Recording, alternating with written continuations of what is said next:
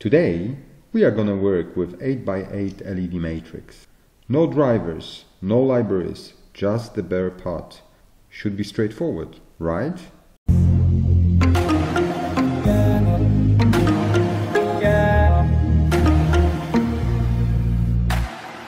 Let's run the quick test first without Arduino to see how this part works.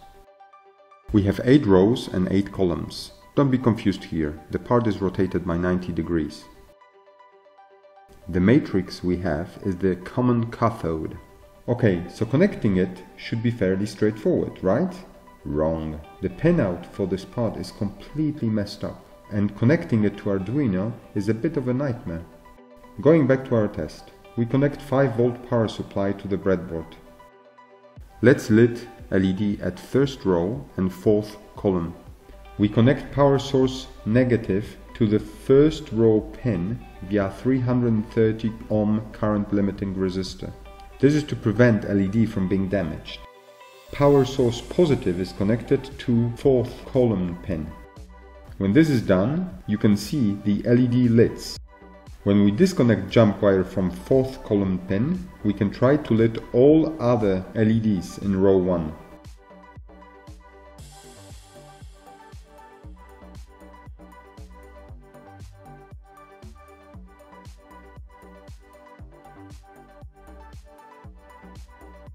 Easy. So now let's leave this uh, LED on and light up another LED, e.g. the one at 7th row and 6th column, starting with connecting power source negative to the pin of row 7. Wait, what has just happened here? One LED just came on. Why? Since column number 4 is connected to 5 volts, any row we connect to ground would lit a corresponding LED in column 4. So this is not really what we wanted. Let's see what will happen when we connect 5 volts to the sixth column. Great, now we have 4 LEDs lit. So lighting up a single LED is simple, but if we want to light more, things are getting more complicated. Before we go and address this, let's write a simple program to see if all LEDs of the matrix are okay. To do this, we need to connect all the matrix pins to Arduino. Before we start, we'll add 8 resistors between matrix row pins and Arduino pins. All rows would be connected to Arduino through those resistors. I designed in Tinkercad a stand for this matrix, which would hold it in place and make the wiring and filming the end result much easier.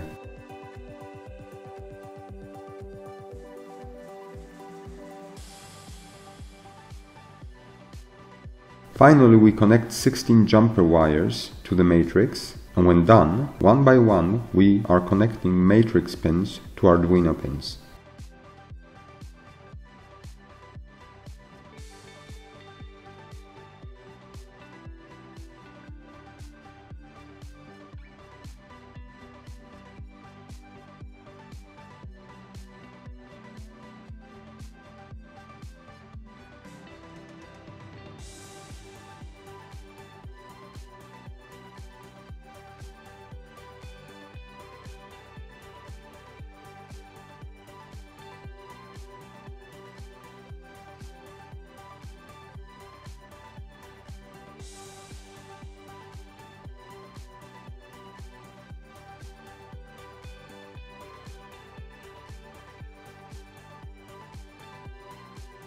We are ready. In the code we need to declare all the pins first and set them as outputs. And also assign high signal to the rows and low signal to the columns so that at the beginning of the code all LEDs are off. Then we need two functions.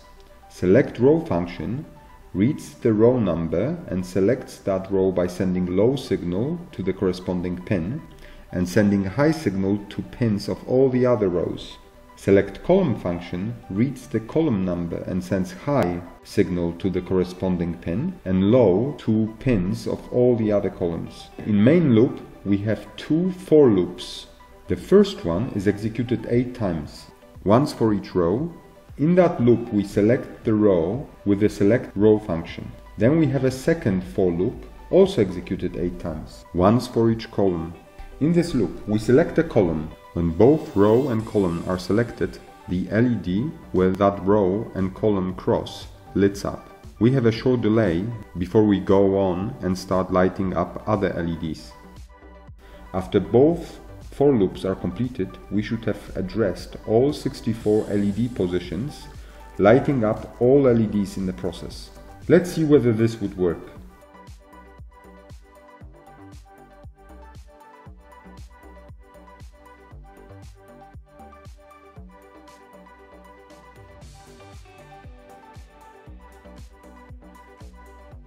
Works perfectly. We confirm all 64 LEDs are okay. Now let's move to more complicated stuff. I want to display 8x8 pixel art. Let's pick this one. This clip art can be represented as two-dimensional array in Arduino code. How can we display this clip art knowing of the LED addressing issues we stumbled upon at the beginning of this video? The answer is multiplexing. How does it work? The way it works is that we select the first row by sending low signal to it and then we send high signal to all the columns in which the corresponding LED in the first row should be lit. When this is done, we deselect the first row and select the second one and do the same action and then we repeat this for all the other rows.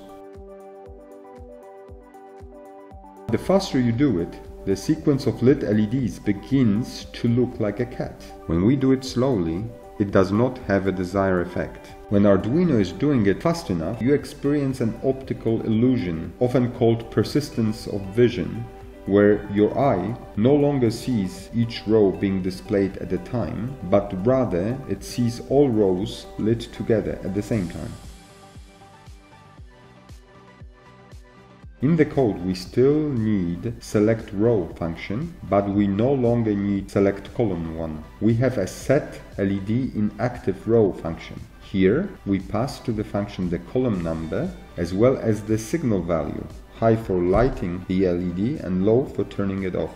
With a particular row selected, we can run this function multiple times, lighting up multiple LEDs in that row. In the code, we have our clip art representation. In main loop, again we have two nested for loops. In first one, we select the row with select row function. In second for loop, we scan the table in selected row and lit all the LEDs for which the corresponding position in table is equal to 1. We introduce 2 milliseconds delay during which the particular row remains lit.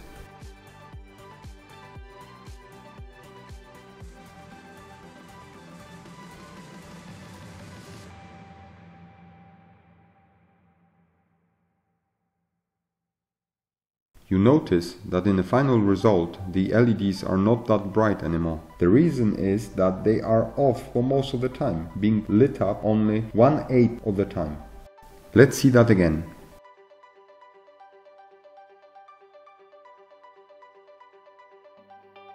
Now that we feel comfortable with displaying any image on the matrix, the question is, can we do something more fancy, like text scrolling? I prepared a text sample to scroll. Just like a pixel art, it can also be represented in Arduino code as a two-dimensional array. It is larger than 8x8, so the way we'll be doing it, we'll be displaying columns 1 to 8, then 2 to 9, and so on. This way we'll achieve the scroll effect. We need the same two functions that we used for displaying the pixel art. Again we see the table that represents the text we want to scroll. We introduce one additional variable, position, which indicates which 64 LEDs from the table are currently being displayed. Then we have two nested for loops that we had in previous program, which display 64 LEDs from the table just like we did in case of 8x8 pixel art.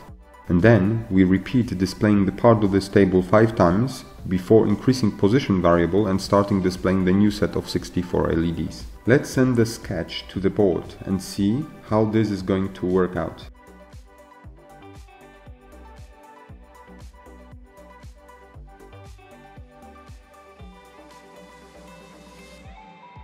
Looks great. To make it look better, I designed in Tinkercad a diffusion panel for this matrix and again made the use of my 3D printer.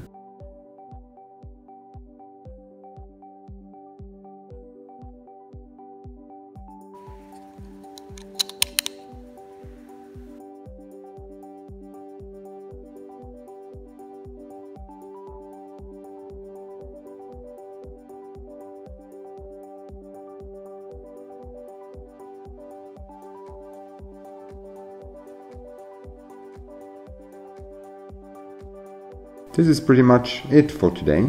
My next video would also be about 8x8 matrices and this time we would look at available tools to make it easier to control it and potentially have better quality when displaying text or clip arts on the matrix. Don't forget to visit my channel to check it out.